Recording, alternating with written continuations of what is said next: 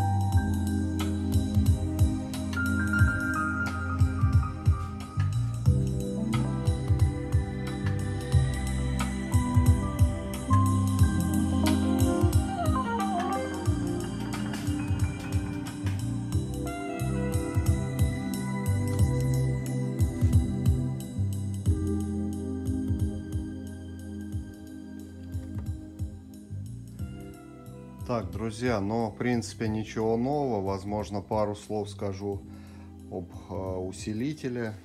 Э, кто выбирает, да, значит, из своего опыта сейчас поделюсь. Тоже такой немаловажной информации в двух словах, да. Э, вот именно сегодня тот день, когда я подключил винтажные колонки с довольно современным аппаратом и сразу вспомнил усилители компании Yamaha. Значит, многие люди выбирают их. Это пришло как бы не сразу. Это пришло мне э, с опытом работы с акустикой, с усилками и так далее. И, значит, потом уже начал копать эту тему, общаться с людьми и так далее. Уже как бы эта информация подтвердилась. А, Значит, что я наблюдаю картину, да? Сейчас зайду сдалека, а потом уже скажу по факту, что здесь сейчас получается. А, Значит, а, усилители серии АС новодельные, да, Yamaha AS 2000, 2100, а, трехтысячник, там э, 3200 и так далее. Данные аппараты, это аппараты высокого достаточно класса, усилители, но а, есть одна истина, что данные усилители, они созданы под современные системы, друзья, не под винтаж. То есть, чтобы они э, играли с каким-то ви- винтажом э, более-менее нормально, это должны быть колонки достаточно э, продвинутые, высокого класса и достаточно передовые по типу Denon уже и так далее. Таких, то есть все жанровых систем, в которые вложены уже достаточно передовые технологии, не только там ящик один с динамиками и так далее. Вот, поэтому усилители серии АС это замечательные усилители, но э, вот, к сожалению, они созданы, или к счастью, они сделаны под современные колонки. То есть даже э, есть из моих знакомых, э, товарищей, кто подключали, блин, и к BMW, к бивням, да, и кефам и так далее, блин, как, как они играют в серии АС усилки, это просто. Ну, современные системы, они тоже отличаются головками, уже сделанные под все жанровые, скажем так, нет привязки к жанрам, да, у данных э, систем, поэтому там и головки уже по-другому сделаны. Они сделаны отыгрывать абсолютно все, поэтому такие усилки к ним классно подходят. Что не сказать про винтажные, Ну, то есть Ямахи, АЭСки, они не подходят к винтажным системам. Что я сегодня вижу? А, Данный пионер, значит, он до боли мне знаком, вы сами знаете, наверное, не один раз и не, не, не три даже видели, да, у меня на канале, значит, такие системы. Сегодня я подключил достаточно современный аппарат, и я вспомнил а, вот эти усилители серии АЭС, друзья. Вы не представляете, как э, омолодился звук в этих пионерах. Во- Вот, блин, прям я слушал даже вот от своего P2200 все, да, практически. Собрал, значит, подключил их. Все, знакомый мне звук, спокойный, винтажный, скажем так, да. Такой он ненавязчивый, может быть, мягкий, может что. Ну, в общем, это, люди, кто в теме, те понимают, о чем я. И подключил вот этот уже относительно современный аппарат. Друзья, вы не, не представляете, как звук омолодился просто. Он стал таким энергичным. Я сразу вспомнил АЭС-ку от Ямахи. Он же тоже, он достаточно резкий усилитель, достаточно энергичный, там энергии столько в нем, он очень быстро отыгрывает материал, импульс, все вот это, бас дал, ушел, очень высокий контроль там, ну то есть это значит э, первая схематика, второе значит а, новые детали уже, э, которым не, не 35, не 40 лет, да, А вот. Ну и как бы это, уже третье то, что идет акцент на современные колонки, динамика с современными колонками, как бы звучание. И вот этот пионер я подключил когда. То есть, что я хочу сказать? Я хочу сказать то, что даже старые винтажные системы довольно спокойные, да, сделаны для спокойных э, жанров и так далее. И этот звук так можно э, приукрасить и омолодить, и, скажем так, ускорить. Поэтому вот как-то это... Я прям удачно попал. Я не говорю, что это хорошо, не говорю, что это плохо, но я прям слушаю, я слышу вообще другой звук. А По сравнению даже с моим мощником линейным. А, То есть это звук уже быстрый, хорошая динамика, звук яркий, звук молодой. Ребята, кто много усилков, ресиверов перепробовал, они понимают, о чем я говорю, да? Если, допустим, взять какой-нибудь, ну что мне на языке только трио один крутится, блин, это, будь он хорош, да? Э, Если ты подключишь сюда трио или пионер старый, ты услышишь спокойный, мягкий звук, бас будет с протяжкой, а, то есть, ну, такой, как вот крутится пластинка, да, там это самое. Вот, понимаем, да, о чем я. Вот. И подключая аппарат, допустим, достаточно высокого уровня, я не говорю, что прям вот это супер уровень, но тем не менее, я услышал сегодня вообще другой звук от вот этих старых пионеров. Какой у них год? По-моему, 85-й, если память не изменяет мне. То есть настолько можно звук омолодить и, дать ему энергии, что сразу я вспомнил усилители серии АС от Ямахи, быстрый импульс, бас дал, ушел, никакого гудежа, никакой протяжки, некоторые усилители там бу, такая протяжка в низком диапазоне, думаешь, блин, да когда ж ты утихнешь, ты когда ж ты кончишься, думаю, ну сколько можно тянуть. Так любят делать э, усилители компании LOT старые. В этом я лично убедился. Ну, много моделей, как бы не буду акцентировать я на этом, то что кому-то это нравится, но я считаю, что э, быстрая подача композиции именно так, как заложил там режиссер и так далее, без э, лишних своих вот этих внесений, скажем так, таких э, окрасов фирмы и компании и так далее. У каждого усилка там есть свой окрас, да. Вот как сегодня разговаривали с человеком, с хорошим, то что, значит, а, что мы сегодня обсуждали? Взять интегральный усилитель, да? У каждого интегральника есть свой окрас. Это почерк фирмы, это окрас компании, это фирменный звук компании. Взять Yamaha, это инструментальность, звонкость, там какая-то детальность. Взять Пионер, это мягкость и бас. А, взять там что, Кен, вот это резкость такой, такой каменная, вот эта резкость, такой звук четкий. Он кому-то нравится, кому-то нет. Взять Техникс, достаточно детальный, не сказать, что шибко мягкий. Ну, такой усилитель, э, как бы это. Есть, конечно, модели и хорошие, как бы, э, там, э, очень высокие, как бы, это, уровня, там, мощники и так далее. Я их не слушал, но я уверенный пользователь Technics, у меня и музыкальные центры были Technics, блочные, серебристые, 750 90 и так далее. Я как бы на них вырос. Что у меня был? От тысячный был а, Марк, а пред этот э, мощник 900 был. Вот.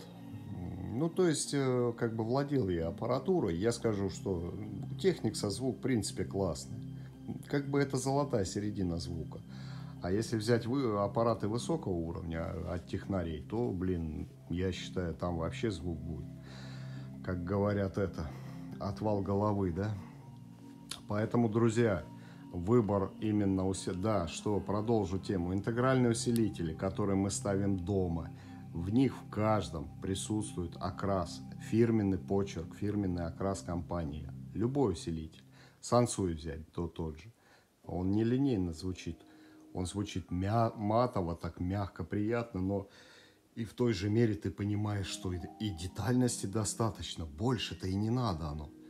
Первую композицию слушаешь, думаешь, как-то глуховато. Потом слушаешь вторую, третью, четвертую и понимаешь, что да, вот оно, вот оно, то, что надо.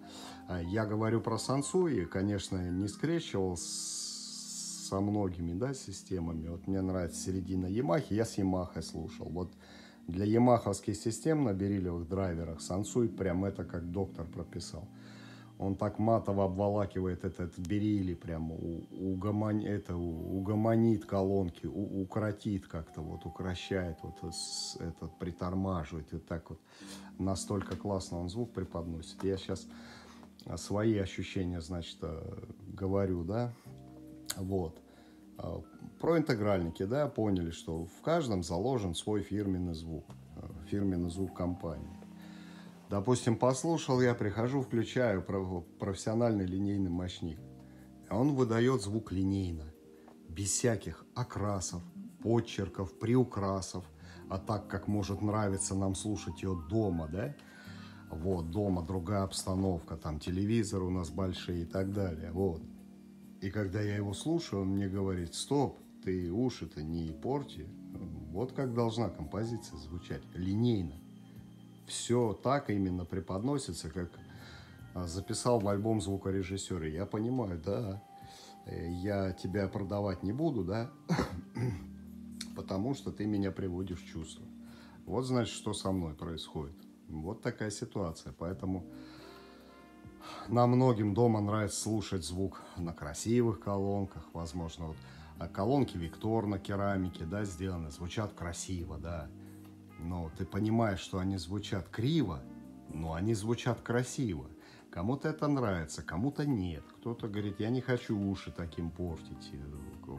Кто-то про Ямаху, кто-то про что, как бы. Ну, тут как бы вкусы разные. Но когда я еще раз повторюсь, я включаю линейный мощник, вот, то он меня приводит в чувство, что а, я понимаю, как должна играть композиция, а понимаю я а, по одной простой причине, что я начинаю слышать э, вообще вещи необычные, которые я не слышу, допустим, в усилках интегральниках, а где, допустим, накручу темброблок, вот так скажем, да, уже вот этих вещей не слышу. Поэтому вот, э, вот эта тема и э, нарисовалась сегодня, то, что когда я включил вот этот звук молодой, энергичный, быстрый, да, и как он оживил вот эти пионеры, сразу вспомнил я усилители достаточно быстрые и резкие от Yamaha AS серию. Вот, поэтому,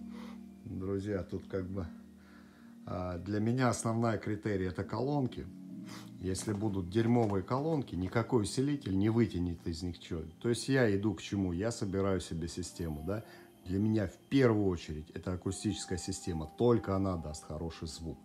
Пускай я поставлю бюджетный усилитель, дешевый там, э, с пятью деталями из ста на борту, да, образно. Он все равно будет играть, она даст цену, она даст звук, она даст масштаб, объем. Вот.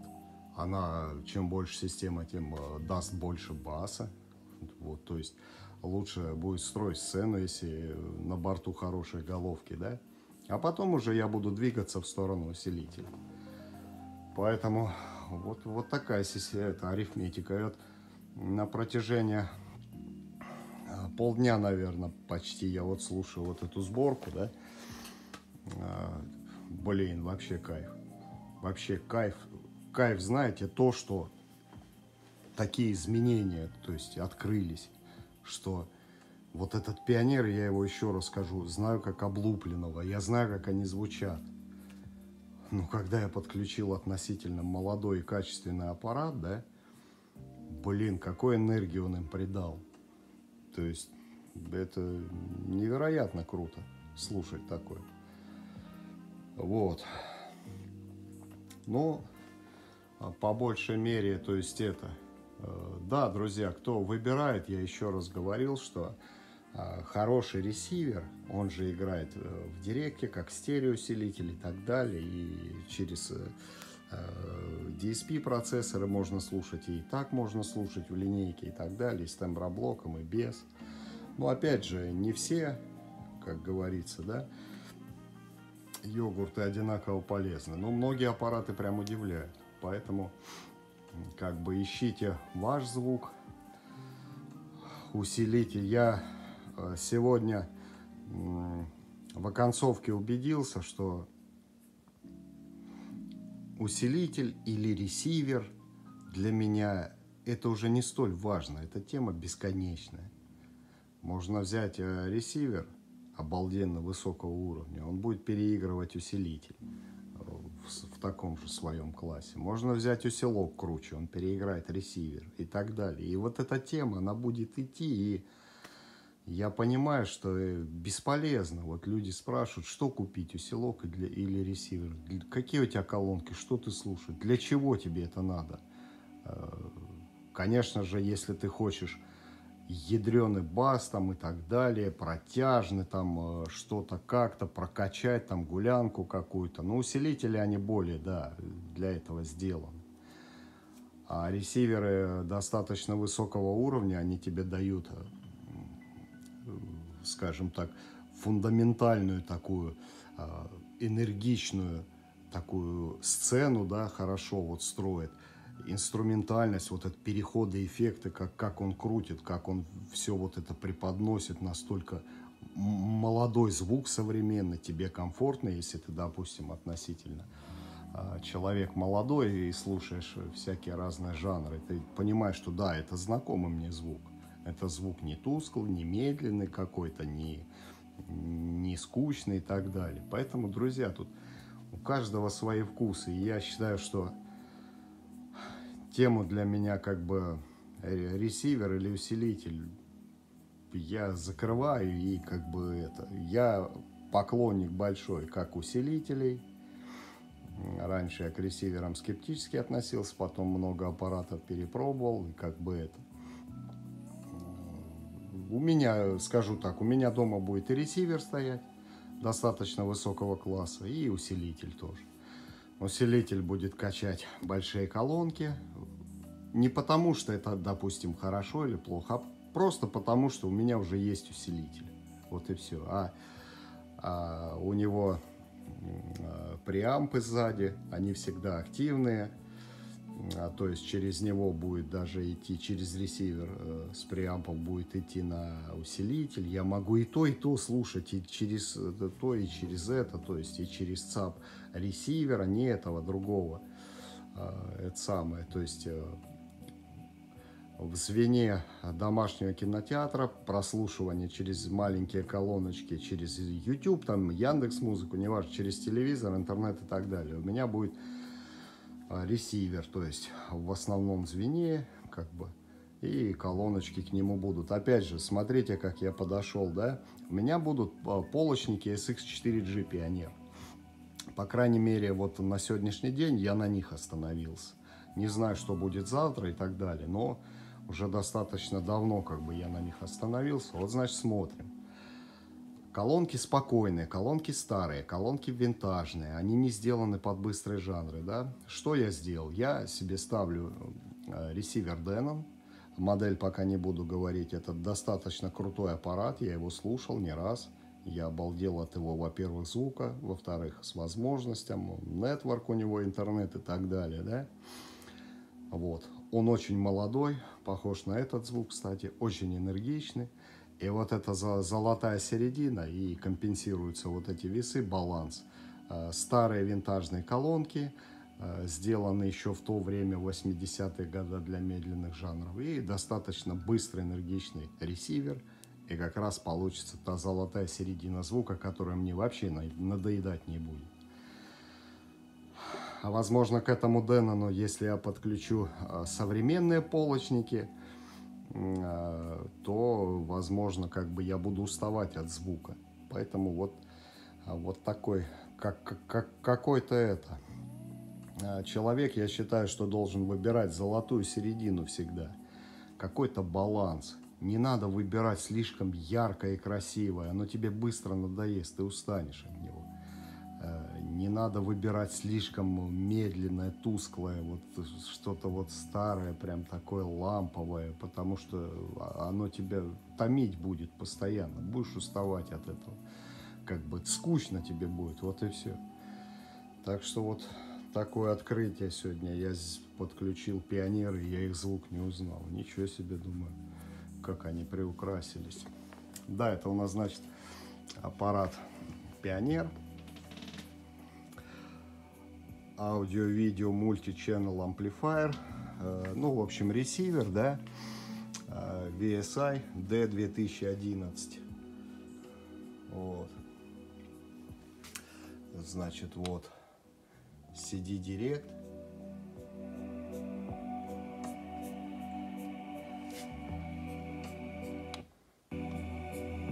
Здесь, значит, у нас что? У нас тут тоже все под рукой, никуда глубоко в меню залазить не надо.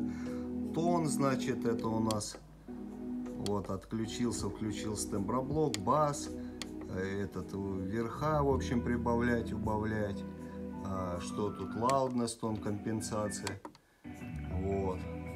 В общем, настройки вот они, пожалуйста. Надо тебе что? Что? Давайте бас. Вот убавляем его. Вот, прибавили. То есть э, для меня э, как бы это очень важно, когда все доступно. И на пульте тоже, то есть можно это все сделать без проблем. То есть вон бас я включил. Вот я его убавляю, прибавляю. Ну также, также и высокие, то есть вот без проблем все, что надо. А, могу я выключить тон компенсацию, могу выключить темброблок. Вот, то есть вот так. Ну да, там кучу функций, там экран можно, звук прибавляешь, загорается. Потом опять тухнет, если ночью он раздражает. Ну, в общем, это самое. Функций как бы очень много в нем.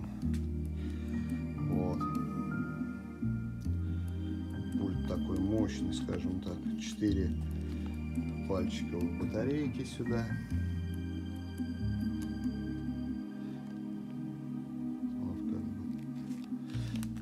Ну, в общем, друзья, я вам честно рассказал как бы впечатления свои. Вот, что компоновка аппаратуры очень важна на ваши вкусовые восприятия. Так, ну колонки такие, в принципе, я показывал. Они у меня как бы были не раз. Поэтому, что сказать, все вроде. Итак, разговор. э, Я вообще планировал минут на 5, а получилось 25, да, даже больше. Все это у нас был Пионер S9500.